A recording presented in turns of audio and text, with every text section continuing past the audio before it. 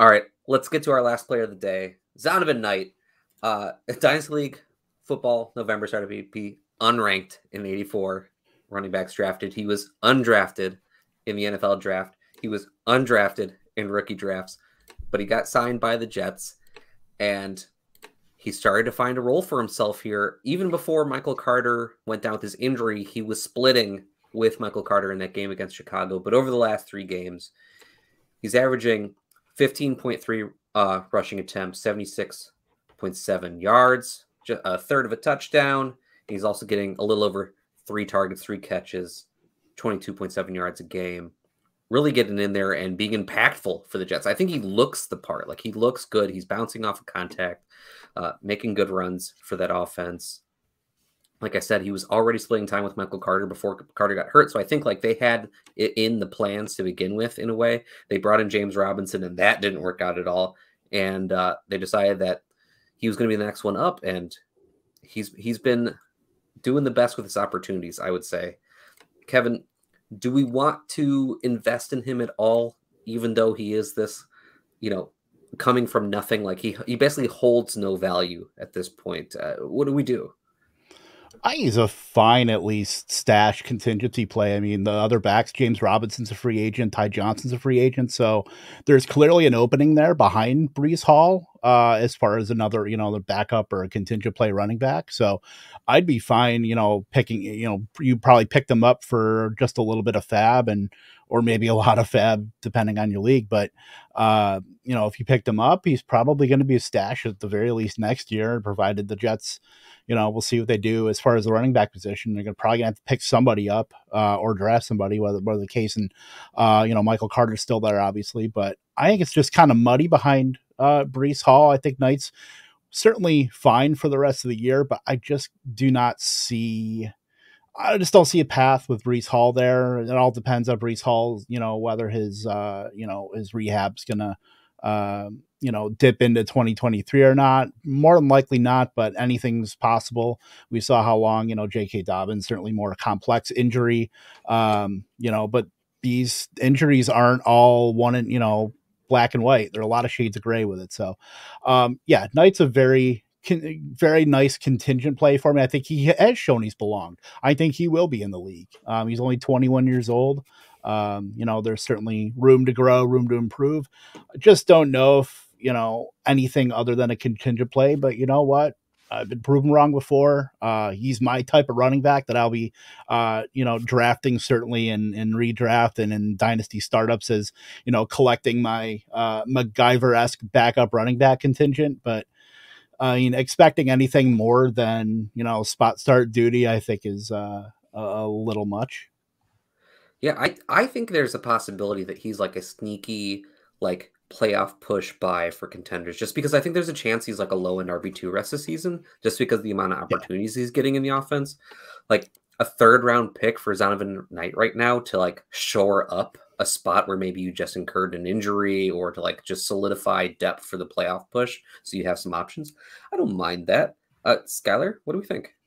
Yeah, just given his playoff schedule and his role within this team, I think it is it's a little it is a little short to sell him for just like a raw third type thing. So if you are a playoff team and you are trying to share up a flex or get an RB a little depth at RB two, a backup second option, um, I'm totally fine sending a late third for Zonovan Knight. I'm usually a little stingy when it comes to buying these guys, you know, like an undrafted type free agent. But I'm looking, you know, you see Detroit week 15, which early in the season was the matchup to target. They have in the last month, though, been one of the best in the league against the run. They've actually been top third over the last month.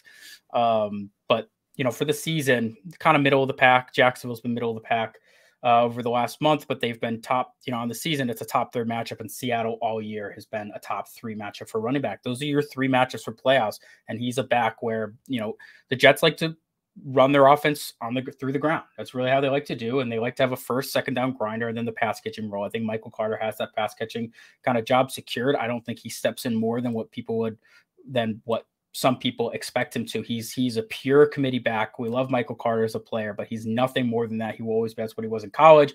That's what he was when he came into the league the first year. It's what he is with Breece Hall. It's what he is even with Zonovan Knight. Uh, James Robinson, I think at this point is just you can forget about him as far as for dynasty purposes at the moment. You know, Zonovan Knight has that that role secured up. I think he's going to get 15 carries. You hope for a couple targets, and he might find the end zone. That's very valuable. And I mean, if you chased uh, 15 rushing attempts all season, you would have the running back 14.